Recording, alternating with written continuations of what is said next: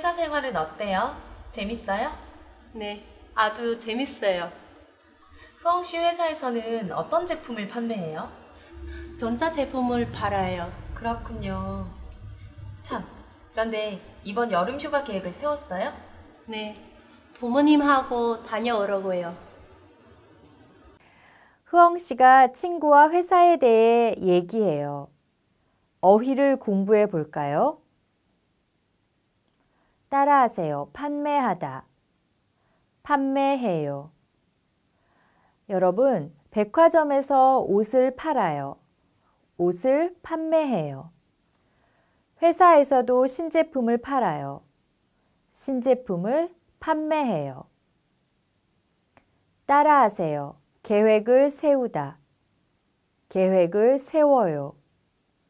3일 동안 휴가예요. 첫째 날에는 바닷가에 가고, 둘째 날에는 놀이공원에 가고, 셋째 날에는 쇼핑을 할 거예요. 이렇게 계획을 만들었어요. 네, 계획을 세웠어요. 어휘를 더 공부해 볼까요? 따라하세요. 매출, 매출. 따라하세요. 서비스, 서비스.